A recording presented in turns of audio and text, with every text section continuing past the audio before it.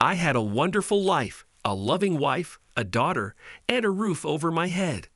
I was really happy until one day my wife brought her lover to our house. It was painful for me. They humiliated me, and I didn't know what to do. I understood that there was only one way out of this situation, and I decided to take a chance.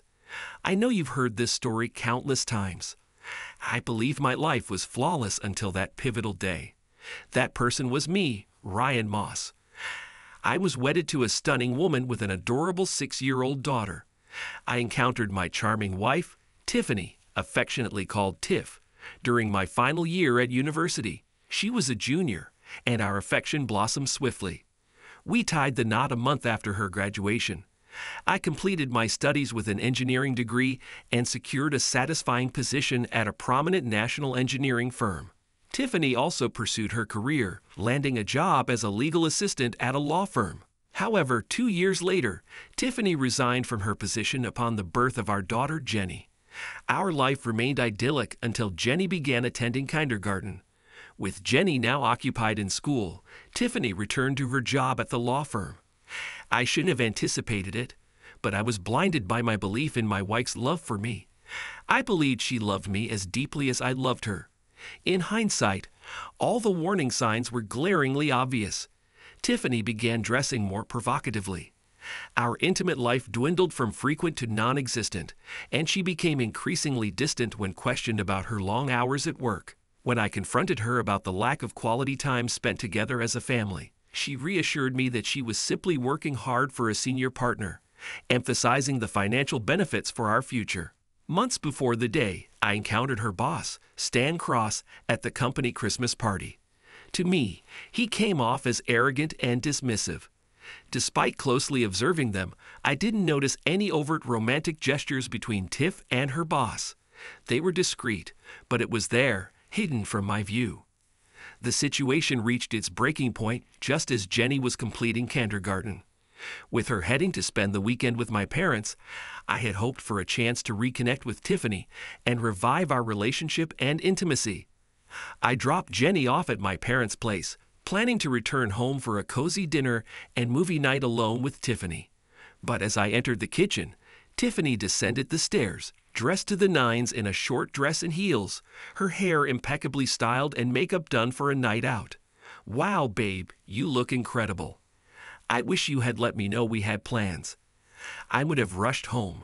Just give me a few minutes to get ready. Where are we going? I exclaimed.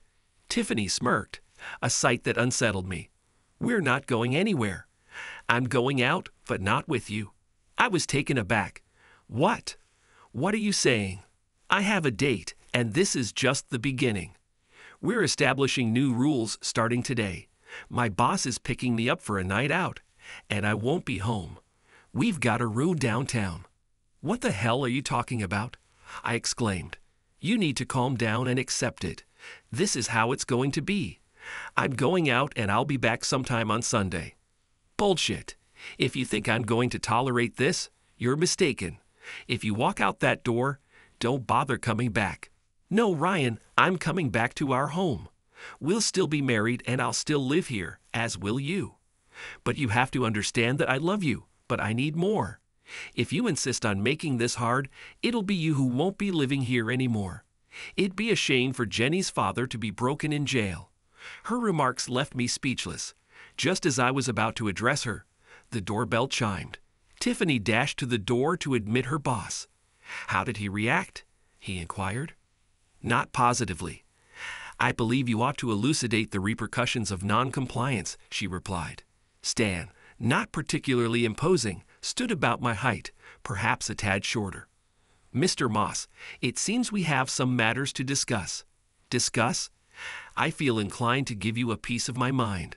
You could attempt that, though judging by your appearance, you might land a few blows before my driver intervenes and renders you unconscious. By nightfall, you'd find yourself behind bars, so kindly take a seat. Glancing out the door, I spotted a burly man looming behind Stan. Grumbling, I settled back down. Okay, now we can talk like civilized people. When your spouse agreed to work as my personal assistant, she also took on additional responsibilities. Yes, I mean a part time job in bed. I've been dating your wife for the last six months, but she's tired of our secret meetings. The relationship between the two of you will undergo a change.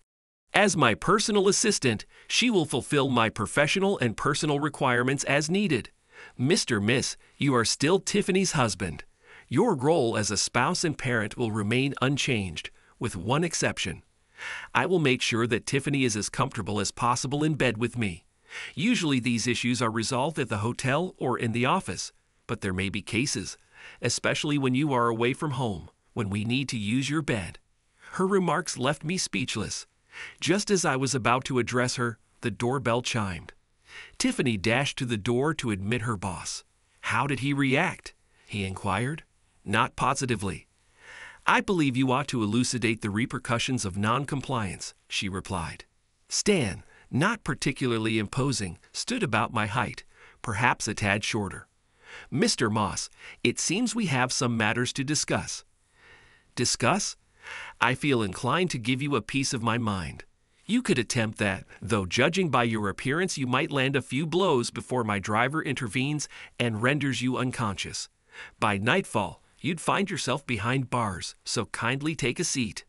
Glancing out the door, I spotted a burly man looming behind Stan. Grumbling, I settled back down. Okay, now we can talk like civilized people. When your spouse agreed to work as my personal assistant, she also took on additional responsibilities. Yes, I mean a part time job in bed. I've been dating your wife for the last six months, but she's tired of our secret meetings. The relationship between the two of you will undergo a change. As my personal assistant, she will fulfill my professional and personal requirements as needed. Mr. Miss, you are still Tiffany's husband. Your role as a spouse and parent will remain unchanged, with one exception. I will make sure that Tiffany is as comfortable as possible in bed with me. Usually these issues are resolved at the hotel or in the office, but there may be cases, especially when you are away from home, when we need to use your bed. I will not tolerate this, you despicable man. I intend to end our marriage because of her infidelity. Mr. Moss, such language is useless. Let's not forget about my profession. I am a well known lawyer working for the largest law firm in this city. If you file for divorce, there will be consequences. And I don't just mean the legal aspects. Naturally, as a result of the divorce process, you will lose everything and will be forced to pay alimony while she continues her relationship with me. As for your beloved daughter, you will not have access to her.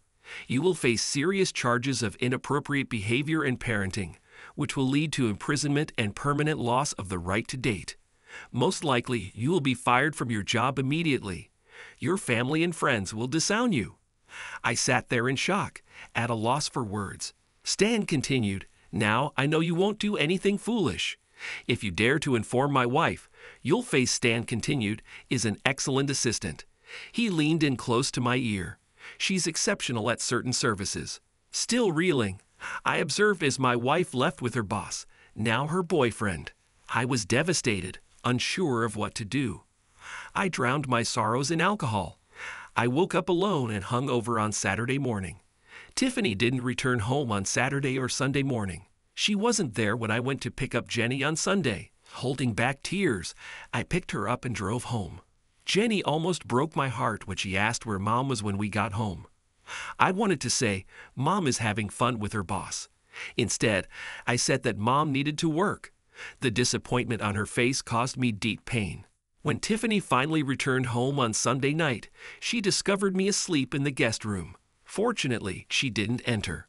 I wasn't sure if I could have stayed composed if she had. I was busy preparing Jenny for school when Tiffany suddenly showed up. There wasn't much conversation directed towards me. Instead, Tiffany focused on Jenny as we were leaving for school. She kissed Jenny goodbye and then attempted to kiss me, but I turned away and left. Later that night, after Tiffany had put Jenny to bed, she angrily stormed into what I had designated as my man cave in the basement. Are we going to have an issue? She spat. When you say we, are you referring to my problem with you spending the weekend with your boss? Is that the problem you're talking about? She stood with her hands on her hips and said, I never thought this would happen. It all started innocently enough when Stan and I had coffee in the morning. He liked the special creamer that I take with me to work. I'm sure he couldn't wait to share his signature cream with you. Don't be vulgar, Ryan. Stan can be persuasive. Do you remember when I always said I didn't like sushi? To tell you the truth, I've never tried them. Stan claimed it was incredibly delicious. The first time he convinced me to try, it was also the first time we we were close. I'm sorry, Ryan, but it happened. Fabulous. He even promised to promote me to the position of his personal assistant. Just think about the benefits a higher salary, the opportunity to travel with Stan, and meet influential people. This is a win win for us. And Stan mentioned that you could get back is a win win for us. And Stan mentioned that you could get back into a relationship under certain conditions. Oh my God, I can't wait to hear about these conditions, I replied, feeling my anger grow. You can't talk to me like that, Ryan. You need to accept this reality. This is not a permanent agreement for a couple of years at most. We will have a much better chance of our future together. Do you actually believe all this nonsense? So, in your world, once the esteemed Stan finishes with you, I'm supposed to just be there to grow old with you, huh? And then what?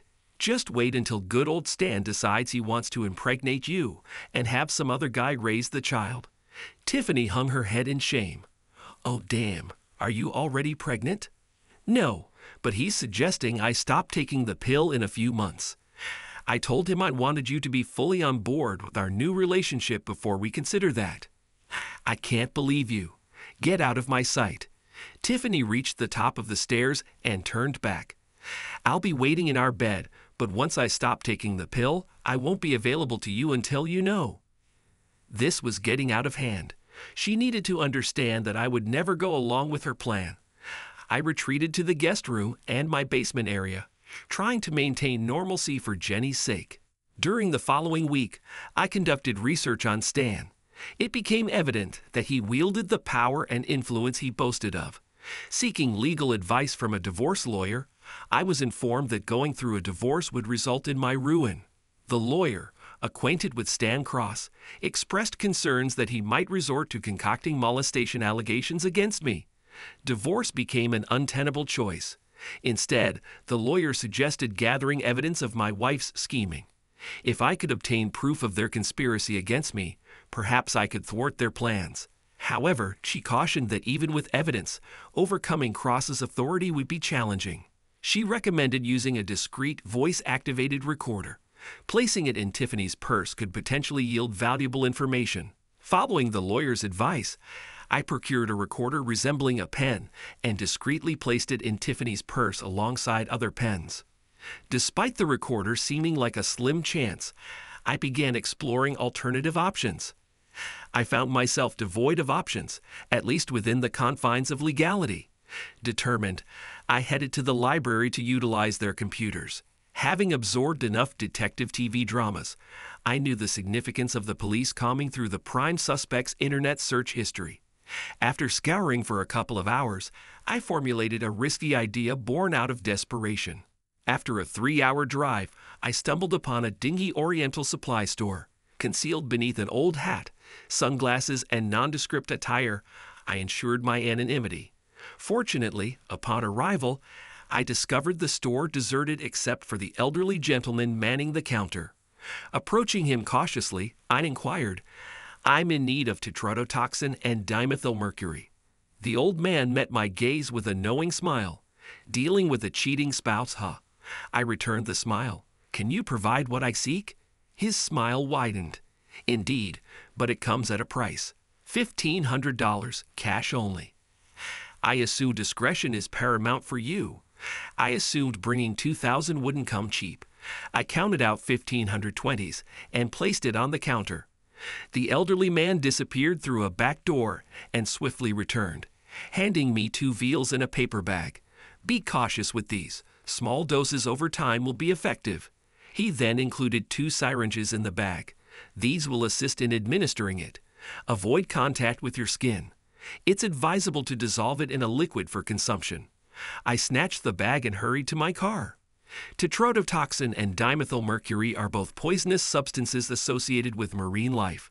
Tetrodotoxin is derived from pufferfish and blue ringed octopuses. When properly prepared, These creatures are considered delicacies, but in concentrated form, they can prove fatal as they accumulate in the body. Dimethylmercury is akin to mercury but more lethal. If allowed to accumulate, it too can be deadly. My research revealed that both dimethylmercury and tetrodotoxin would gradually accumulate in the body until it was too late. Detecting these substances is challenging, but if discovered, they would resemble symptoms of food poisoning from spoiled sushi. The most advantageous aspect of my plan was that Tiffany would handle the delivery of the poison for me. She kept that darn special creamer at home until she needed to replace the bottle at work. A few months back, when I questioned why she didn't just bring it all to work at once, she expressed concerns about it getting taken by someone else. The creamer was her special indulgence. I suppose she meant it was exclusively for her and Stan. It was non dairy and didn't require refrigeration.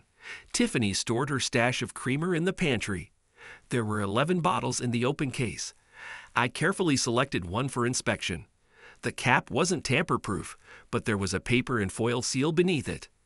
I decided to start with tetrodotoxin on the first bottle, not wanting to risk exposure to dimethylmercury, which I had read could be fatal upon contact. Following the instructions I found, I loaded the syringe with tetrodotoxin and pierced the seal cautiously. After slowly injecting the liquid, I examined the bottle for any signs of tampering. Satisfied, I repeated the process with all 11 bottles. With a nervous hand, I then proceeded with the dimethyl mercury, injecting each bottle with much greater care. Two weeks later, the supply of cream was reduced to 10 bottles. I began to feel guilty. I regretted my decisive actions. Tiffany's behavior made my decision much easier. It was Thursday evening, which we had scheduled for sushi night. On Thursdays, Tiffany and Stan often worked late and enjoyed sushi, which was a real symbol of intimacy. Jenny and I had dinner together before I put her to bed. Later, as usual, I retired to my men's cave. Tiffany came down the stairs looking defiant.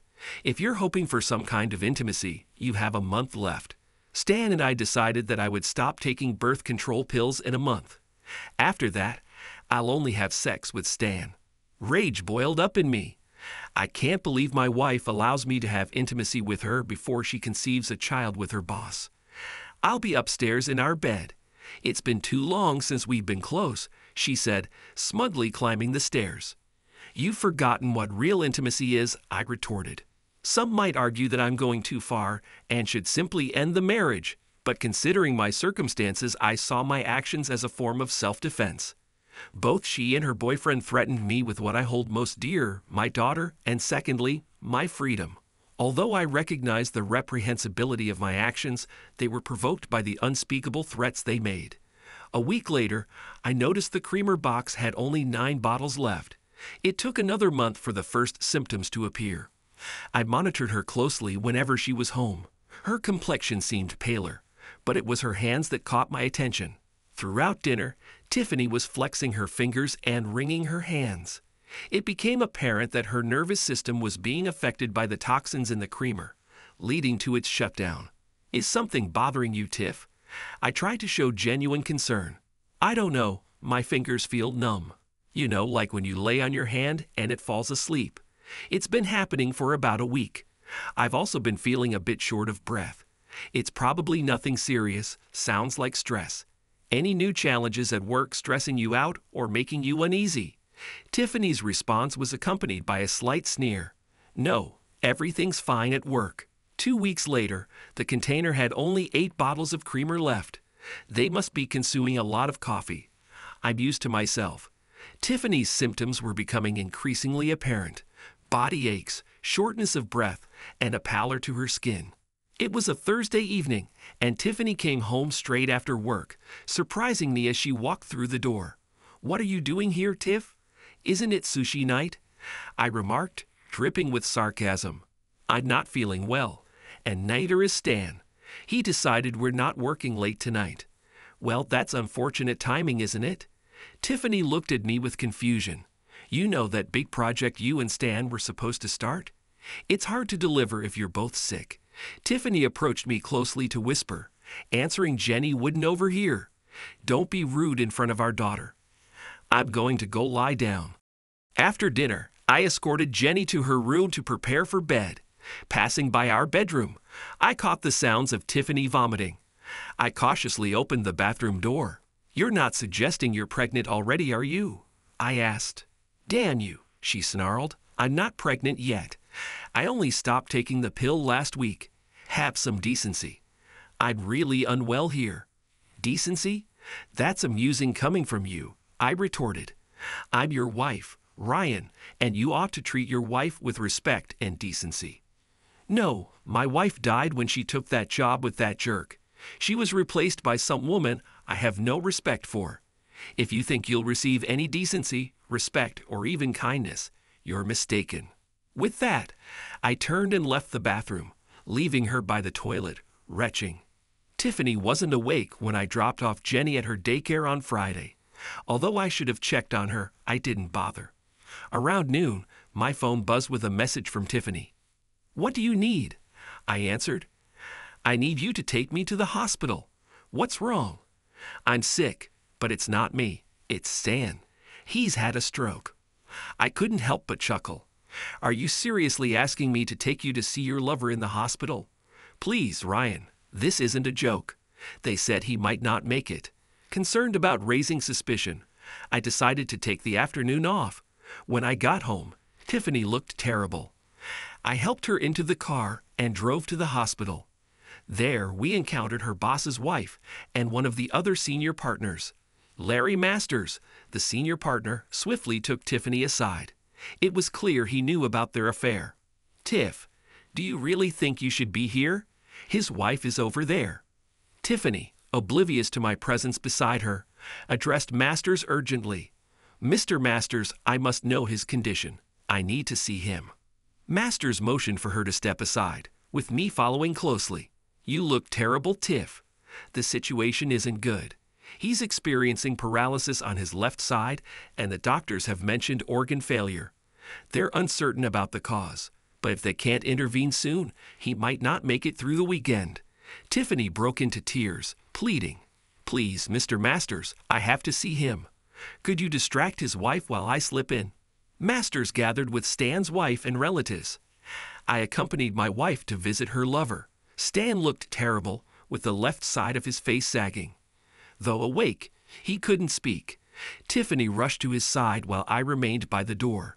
It made me sick to see her hug and kiss him, knowing I was in the same room.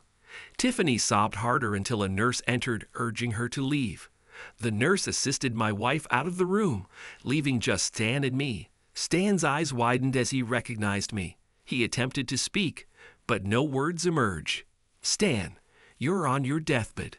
Before you go, I want you to understand that I didn't heed your advice. I wasn't faithful, and I rejected your notion of a new relationship. Don't fret. I'll inform your wife after you're gone about all the deceit you engaged in with me and my wife. Before you pass, know that I orchestrated this. There's nothing you can do to stop it, you bastard. Alarms began sounding from the machines connected to Stan as I exited the room, prompting nurses and doctors to rush in. They managed to keep Stan alive through the weekend, but he passed away early on Monday. Upon hearing the news of her boss's passing, Tiffany was overcome with emotion, her health deteriorating further. After picking up Jenny from daycare that Monday, I returned home to find Tiffany in bed. She confirmed the loss of her lover, her bitterness still evident despite her weakened state. I suppose you're going to revel in this now. No, Tiff, I'm not going to revel. I won't pretend to mourn his death. He ruined our marriage, and he got what he deserved. Our marriage isn't ruined, and I can't believe you're so heartless about Stan. My feelings for him didn't diminish my love for you. It was just a means to improve our financial situation. You knew I would always come back to you. No, Tiff, that's nonsense. Our marriage is as dead as Stan. Remember, I was in the room when you professed your love to him right in front of me. Tiffany was in tears as I left the bedroom. By the end of the week, her condition worsened to the point where I had to rush her to the hospital on Friday. On Saturday morning, the physician spoke to me. Mr. Moss, your wife's bodily functions are failing. Her blood indicates unusually high levels of mercury and another toxin commonly found in fish. Does she consume a significant amount of seafood, perhaps sushi? I struggled to stifle a laugh. Yes, she and her partner have been indulging in sushi frequently over the past few months. Partner? The doctor inquired, puzzled. I'm certain you're aware of him, Stan Cross, the man who passed away in this hospital just this past Monday. He and my wife were involved in an ongoing affair. That clarifies matters. Despite his stroke, her symptoms closely resemble those of Mr. Cross. Unfortunately, I fear she doesn't have much time left. Her kidneys failed early this morning. It's just a matter of time now. The doctor escorted me to her room. Tiffany was connected to various machines, appearing extremely frail. Her eyes brightened as I entered, weakly gesturing for me to come closer. Her breathing was strained and speaking was difficult. Tiffany signaled for me to lean in. I'm so sorry, Ryan. I now understand how deeply I've hurt you.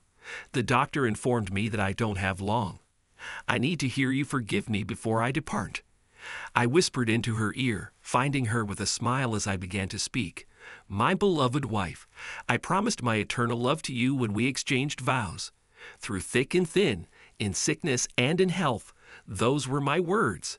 Simultaneously, you vowed your love and loyalty to me. You violated those promises by demeaning and humiliating me. I cannot forgive you for what you've done to me and our family. May you and your lover suffer in hell. As a tear rolled down her cheek, I stood up and left as the alarms blared in Tiffany's room. Less than an hour later, she was pronounced dead. Telling Jenny that her mother wouldn't be returning home was agonizing. My tears were for her, not for Tiffany. Tiffany had attempted to end my life as I knew it, but I thwarted her. The doctors concluded that both Stan and Tiffany had fallen victim to tainted sushi. Handing Tiffany's body over to the funeral home signaled the end of any autopsy or further inquiry. No police officers ever approached me for questioning. I disposed of the surplus bottles of creamer and my toxin vials at home. I even retrieved the partially full bottle of creamer from Tiffany's office when I collected her belongings. When I arranged for Tiffany's body to be cremated, her parents objected due to their religious beliefs against cremation. However, I disregarded their objections as I was determined to destroy her body. With her cremated, any remaining evidence would be eliminated. Despite having sought revenge on Tiffany and Stan, I wasn't satisfied. I collected my various recordings and made duplicates. My first stop was at the home of Georgia Moss, Stan's widow. One might wonder why confront Stan's wife now that he was deceased. My intention was to ascertain if she was aware of and complicit in the events. I strongly suspected she was, given Stan's openness. As she welcomed me into her home, I switched on my pocket recorder. Mrs. Cross, I've come to discuss your husband and my wife with you. She interrupted me. You can stop there, Mr. Moss. I was aware of my husband's affair with your wife. Their affair was quite conspicuous. While it may not have been his first, it certainly was his last. I regret what happened to your wife, but as you can see, I also lost my husband. Thank you, Mrs. Cross. I want to clarify something. You were aware that your husband lured my wife away and turned her against me and my daughter. By not taking any action, you're just as culpable as he was. Wait a minute, Mr. Moss. I had no involvement in my husband's actions. I suppose we'll have to disagree on that, Mrs. Cross. From my perspective, if you had intervened with your husband, he might not have felt emboldened to pursue my wife. Perhaps my child would still have a mother today. Knowing that you were aware of the situation will strengthen my case when I pursue his estate for the pain and suffering he inflicted upon my family. I left her house without further discussion. Despite my lawyer's warning about the slim chances of success in pursuing Stan's estate, I was driven by a desire for revenge. In addition to targeting the Cross estate, I aimed to hold the firm where Stan and Tiffany worked accountable. Initially, my lawyer doubted they'd oppose us without Stan, but that changed when I presented a recording of Stan conversing with his partner, Larry Masters. As my scheme unfolded, maintaining civility with Tiffany became challenging. During one of my outbursts, the recorder captured a crucial conversation between Stan and Larry in Tiffany's office, discussing my resistance to their scheme. On the recording, Larry offered his assistance in implementing the plan, boasting of connections to law enforcement and the judiciary. He threatened to use these connections to dismantle me if I didn't comply. Though my lawyer cautioned about the recording's admissibility in court, we still leveraged it. My attorney arranged a meeting with all the senior partners, including Larry Masters, without divulging the exact reason, merely suggesting it might pertain to life insurance. I aimed for them to be caught off guard. As we entered their conference room, each of the seven senior partners offered their condolences for my wife's passing, including Masters. They all assumed we wanted to discuss Tiffany's life insurance policy, which was being delayed by the insurance company.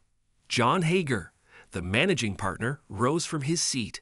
Mr. Moss, each of us expresses sincere condolences for your loss. We understand the challenges you faced in securing the payout from the insurance company for your wife's policy, which our firm provided. I'm pleased to inform you that we successfully intervened to overcome the hurdles. Hager then handed me a check for $500,000 from the insurance company. I pocketed the check, Mr. Hager, but that's not why we're here. We're here to offer your firm a chance to resolve a troubling matter before we escalate by taking legal action against each of you individually and your law firm as a whole. You see, Mr. Hager, your firm was complicit with Mr. Cross in a scheme to lure my wife away from her family and to have me arrested, prosecuted, and imprisoned. Hager stood up indignantly. How dare you come in here and accuse our firm of such crimes and tarnish the reputation of one of our deceased partners? Mr. Moss, we won't sit here and let you make false allegations. Mr. Hager, we can leave now. But I can assure you that my so called allegations are true, and I have evidence to support them. I suggest you simply ask Mr. Masters if I'm speaking the truth.